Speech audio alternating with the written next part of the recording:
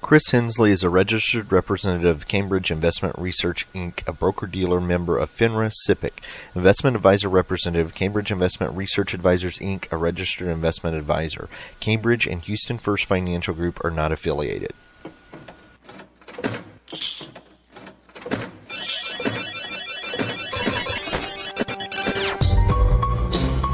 The Houston Midtown chapter of the Society for Financial Awareness presents Money Matters with your host, Christopher Hensley.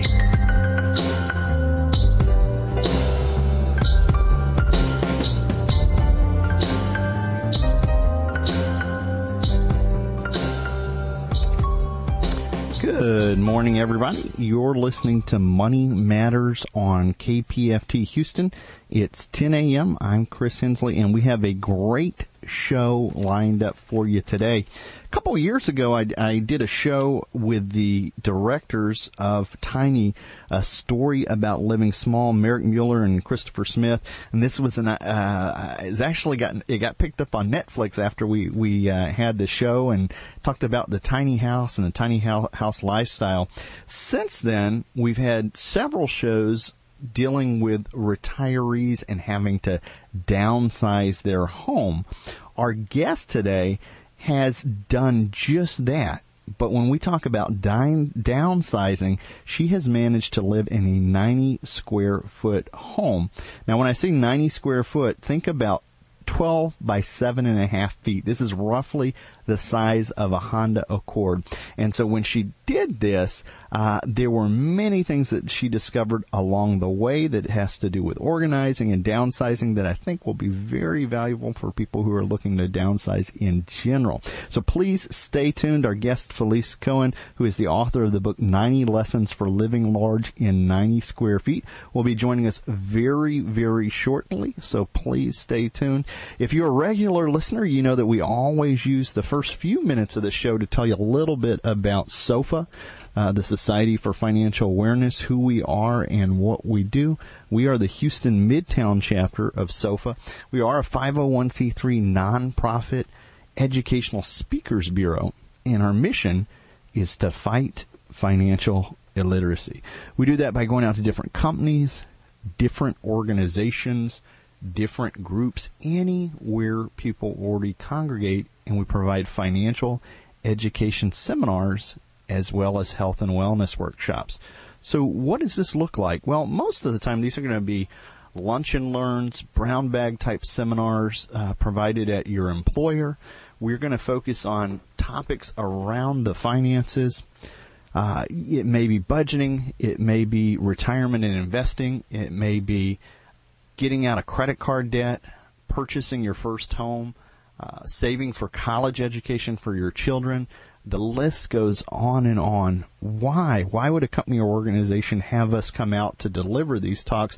Well, for one thing, there's something called 404C, and 404C is an ERISA requirement that states that any company that has an ERISA sponsored retirement plan is required to have a financial literacy or financial education piece at least once a year. So we go out and, and help them fulfill this. Uh, often they try to outsource this to their 401k or 403b guy.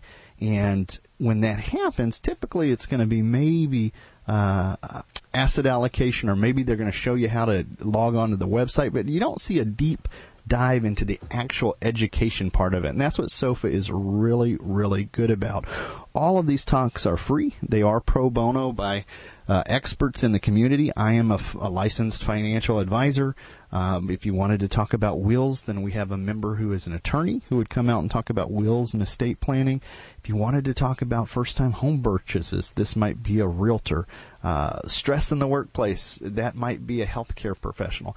To find out more about SOFA and how you can have somebody come out to your work or professional association, you can reach out to us at www.houstonmidtownsofa.org. If you are listening outside of the Houston or Gulf Coast region and you'd like to have somebody come out to your city or state, you can reach out to the national office, which is www.sofausa.org.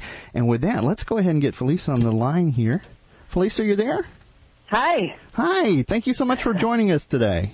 My pleasure. Thanks for having me. Absolutely. We're, we're very excited to, to have you on the show here because um, eh, listeners might have seen you and may not even have realized that because uh, you are, there was a YouTube, uh, say YouTube phenomenon that came out when you uh, first started down the road on, on your, uh, your experiment here.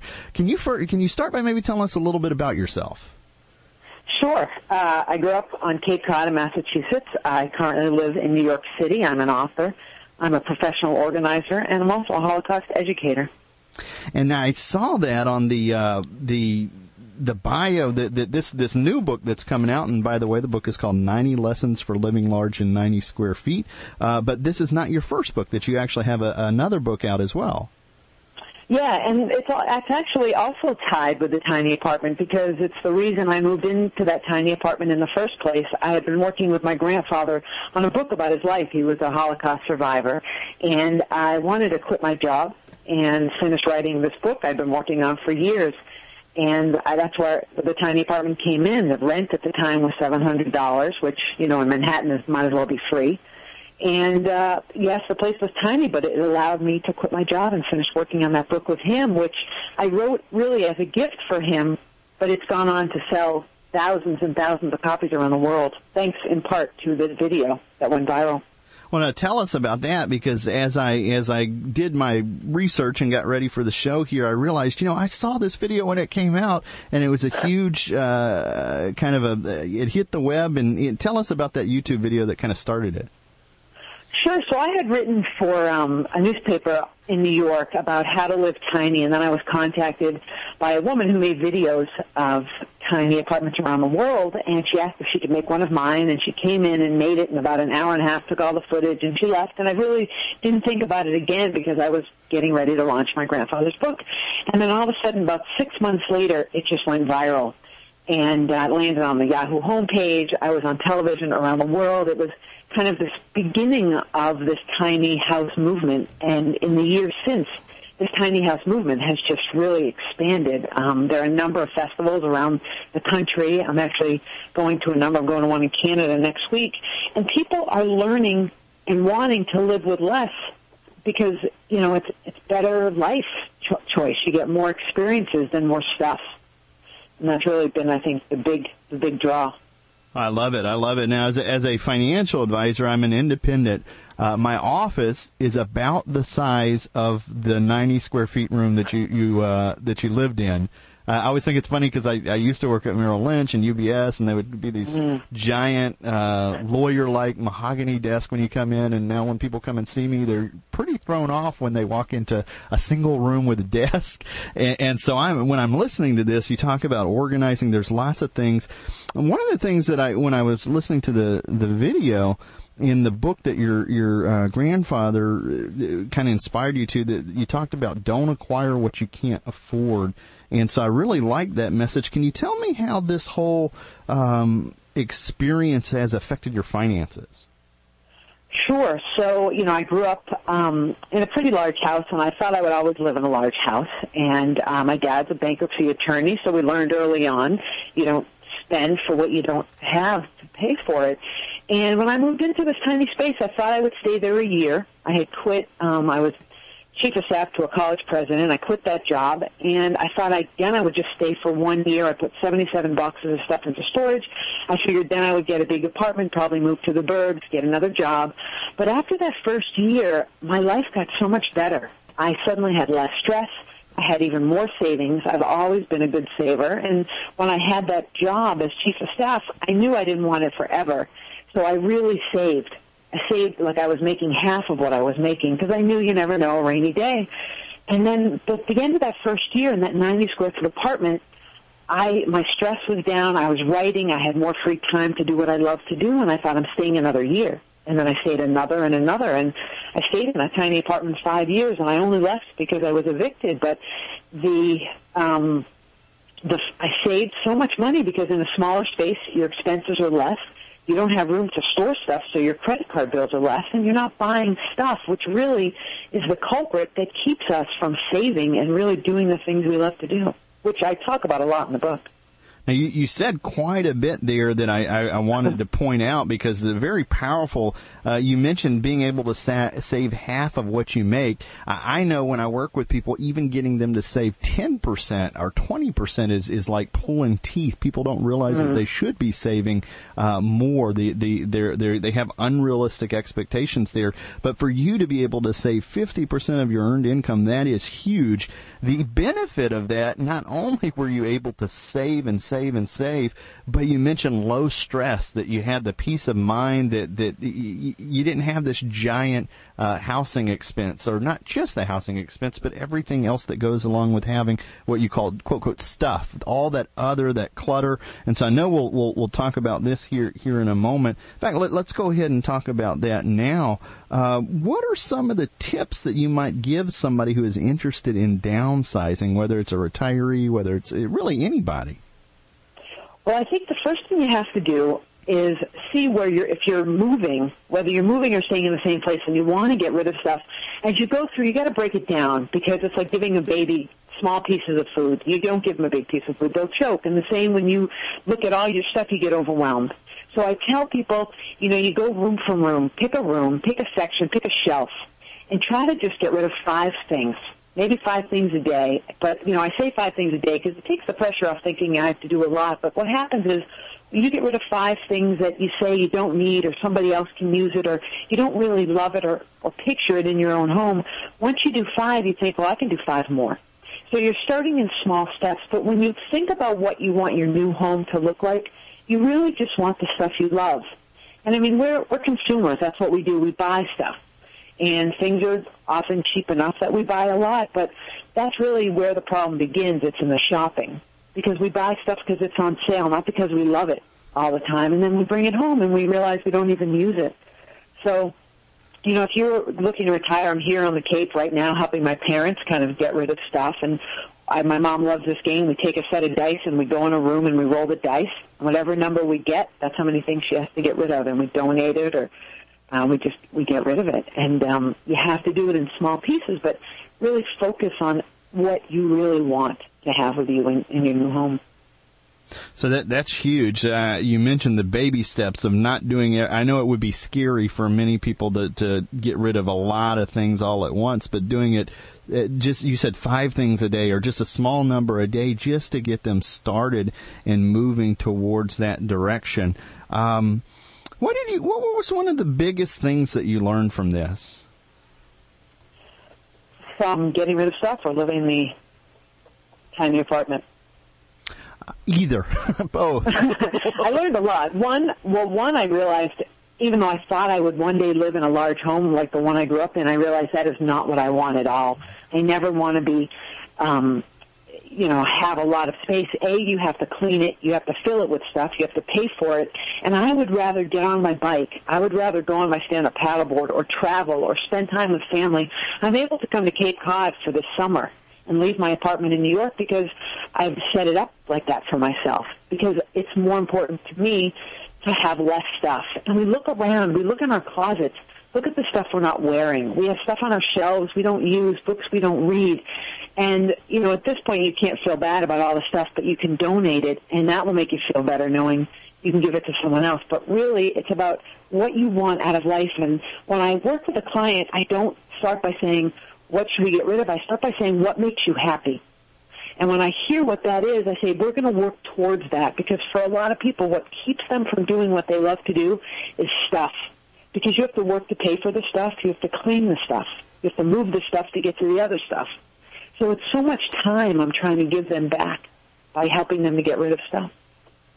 I, think that's interesting is starting with what makes me happy and, and one of the things that you learned was that the big house, uh, which you thought maybe was something you wanted was not really what you wanted. And, and even to have the freedom to make that realization, most people d- fall into one side and they're just stuck with that and they, they never think about the, uh, the alternatives or the other options that are there.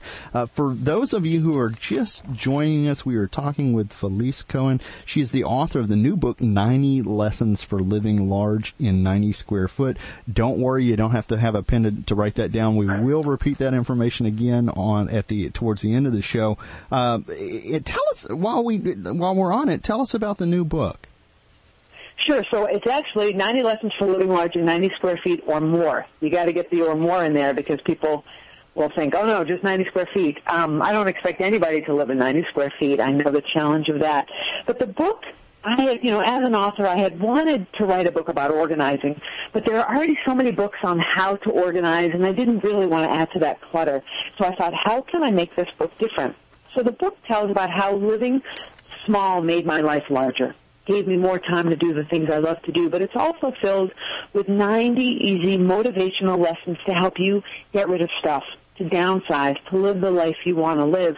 And I call the book a want to guide because it's just to help you, to motivate you to live the life you want to live. And so some of the lessons, it's, it's like, um, for everything you buy, think of it as one more day of working to pay for it. Because, you know, everything has a price and interest and credit cards. So that's really how the book kind of came out, and um, it's really starting to strike a nerve with people because it's easy to read. For people who are overwhelmed with their stuff, reading a whole book on how to organize can be even more overwhelming. So I wanted to do something that was simple, and you know that would replace me from standing there in your home with you to help you get rid of stuff.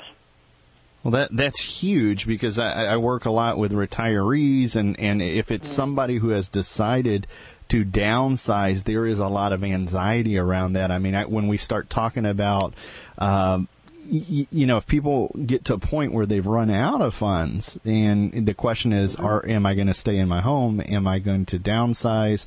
Um, and you start, you'll see hand wringing where people will just start rubbing their hands together, and and uh, yeah. many people don't like the idea of leaving their home, and they don't realize that some of the things that we're doing might be liberating. I like the idea that it's simple because it's something that they can uh, get these motivational um, mm-hmm. ideas towards downsizing. Very, very neat. Um, now, when we talk about organizing, I mentioned I'm in a small office, and uh, that that's one of the things. What are some of the things that you can point out for people about just simple organ- organizing? Well, one thing for you in a small office, you know, you can tell your clients you don't have a large overhead, so you're not p- passing on that expense to them. So that's exactly right. A small office, yeah, it's great. Um, for organizing tips for downsizing, you know, when when the video first came out, and I still get emails from people, I had some people write to me to say, you know, I had to move because of finances into a smaller place, and I felt so bad about it. But after watching your video and hearing what you said, I feel better about my new space. And I think part of it is how you look at the glass. You know, is it half full, half empty? But like you said, it can be liberating. Um, you know, I say getting rid of stuff can feel like getting out of debt because you have all this stuff and, and it can be overwhelming as well. And I think, you know, retiring is just moving on, is graduating to another stage. And as you go through stuff, and as you go through things, it's not easy, and I think you go through one thing at a time and think of people who will appreciate it, and then you'll feel better about giving it away, but also appreciate each thing that you've had and you're letting go of, and it was part of your life. So try to look at it as kind of the story of your life, and uh, not to think of it as such a bad thing. I like that. I like that. I do that when I when I do start cleaning. Uh, I'll start going down memory lane there. And the other problem I have when it comes to uh, to get. I'm one of these people. If it's free, I'll take it. And then when I, my wife's the opposite of that. Is she's if we if we haven't touched it in the last six months, it's garbage. Uh, uh, but and then she'll she'll ask me things like, now why did you take that? You're not going to need it, and it's true. So so we have to watch that kind of stuff. What were some of the biggest roadblocks uh, to to to going down this road? Well, at first, um, you know, I, there wasn't no kitchen in this tiny apartment, and that took a little adjustment. Um, I did have a toaster oven and a mini fridge and a hot pot that I hadn't had since college, but I was also in Manhattan, so I was in the middle of, you know, Foodville. There were just restaurants everywhere, so that was a little challenge. Um, you know, at first I freaked out about the loft bed because it was so close, but then I just reminded myself of why I had moved into this small space and I think that really did the trick because I, I wanted to have that year to finish writing my first book and do this for my grandfather. And I thought about what my grandfather had lived through. And I looked around at this tiny apartment and I said, this is paradise compared to what he had. And you know, in New York or wherever you live, you're only there to sleep. And when I, when it was a bedroom, when I went to sleep, that's what the whole space was. When I was getting dressed, the whole space was a closet. And when I worked there, the whole space was a cubicle. And I think it's a lot of it, it has to do with your perspective. And, you know, for me, my backyard was New York City. So that part got easier. And all the, you know, there were times it was a fifth floor walk up. I'd be tired walking up the stairs, but it was just a little payoff of the bigger picture. And I think that's important to not lose sight of. Absolutely. Kind of reminding yourself of the why. Why am I doing this? And I, I, think a lot of times people will hear something like this and they'll think, well, this is a person who's not, um, they're, they're having to live like a pauper and they're not doing things. You were involved in art. I saw you, you did shrinky dink art. You did, you mentioned a whole bunch of things that you were passionate about that didn't necessarily stop. Can you tell us a little bit about that, those, those other things that you do? Sure. Yeah, and it's not that I had to stop at all, and in fact, I had more time to do these things. So writing was my passion, and that's you know I've a number of books that I've written and working on, and have the time to do that, and have more savings because you know enabling me to do that. I love making art. Um, I love and contributing art for years. Um, it was big in the 70s, that plastic you colored and cut and put in the toaster. And it was perfect because it was the only art that would fit in that tiny apartment. um, you know, I love to cycle. I love to go to theater. I love to do all these other things. And living like this enabled me to have all these other experiences, which I think is the big draw for many people downsizing. Um, and even if you live in a larger space, I'm not telling anybody to move into a tiny, tiny space. I'm just saying it's your stuff that you can downsize to give you more free time to do it, you know, and, you know, everybody, you know, Starbucks and Dunkin' Donuts, everybody's buying drinks all the time. And I'm not knocking those places, but day after day buying these drinks because you think you deserve it, you know, you're literally flushing your money away. And I think it's, it's, it's good to be conscious of what you're spending your money on and seeing what you really want and what, you know, the big picture of what you really enjoy doing. And for me, it's getting up on my stand-up paddleboard every day it's you know it's what I love to do. That's huge. That's huge. I, would like to kind of uh, sidestep just a moment and go back to the first book, What Papa Told Us. Can Can you tell us a little bit more about that book for people who are interested in that as well? Sure. So uh, I was in college actually, and I discovered that my maternal grandmother didn't die of cancer, as I've been told, but she committed suicide, and uh, named after her. When I when I found that out, I called my grandfather and asked him why. And for years, they had not told anybody the truth because uh, suicide had such a stigma at the time. And in order for him to tell me why she committed suicide, he had to tell me what happened in the Holocaust. And I wrote about her, and my grandfather felt such relief having unburdened himself of her secret, he said, I want you to tell my story. So we worked on this book off and on for uh, 18 years, and um, it wasn't a book at first, and then it just kind of it came out as a book, and I didn't plan on selling a copy, and the book seems to touch a nerve because it's about his life before, during, and after the war, and it's a simple, easy read of one man's story, and as tough as the book can be, it's also about hope because he did survive. And the last five years of his life, um, he passed away last December, but he and I would speak together in schools and in synagogues and bookstores across the country, and it changed his life. He was so proud of this book, and he was so proud to tell his story because it really validated for him his survival. So I, I you know, I'll never write anything again as worth it as this was, and um, you know, it's uh, it was a gift I was doing for him, but really turned into a gift for me. And, and I train other grandchildren of survivors to go into schools and speak. I've spoken to over 10,000 people. Wow, that is, I'm going to have to read that. One of my favorite books is Man's Search for Meaning by Viktor Frankl, mm. also a Holocaust survivor. Um, yeah. and, and so this is, uh, we, we were talking about the, the other book, 90 Lessons for Living Large, but this one sounds right up my alley. I'm going to have to check that one out as well. uh, what, what have I forgot to ask you that you'd like listeners to know? Uh, I think, you know, I think when you're looking at your stuff, just take your time and try to break it down and be, you know, be thankful that you were able to buy it and you bought it and you enjoyed it for whatever time, but let it go. And it's, and think of the people you're helping. Think of the, you know, maybe get a tax write-off as well. And think of the, how good you feel when it's gone and you're just left with the things that you love. Because that's, that's what, you know, your life should be about. Well, Felice, thank you. We're bumping towards the end of the show. Thank you so much for visiting with us today. For listeners who'd like to find out more about Felice, you can visit her website at www.felicecohen, which is, let me spell this out, F-E-L-I-C-E, and then C-O-H-E-N dot com. Um, if you are listening to the podcast version of the show, you can find a link to the website and also the book as well on the podcast notes. Felice, thank you so much for joining us. Have a great weekend there. My pleasure. You too, Christopher. Take care. Have a good one. Thanks. And you have been listening to KPFT Houston. Thanks for listening to today's episode of Money Matters Podcast. If you enjoyed the show, visit us on the web at www.moneymatterspodcast.com drop us a line on SpeakPipe on the right hand corner. Uh, it will receive any voicemails, questions, thoughts, concerns that you have about the show. In addition to this, we recently launched a Patreon campaign. Click on the Donate Now tab to hit the tip jar and find out what Patreon's campaign is all about.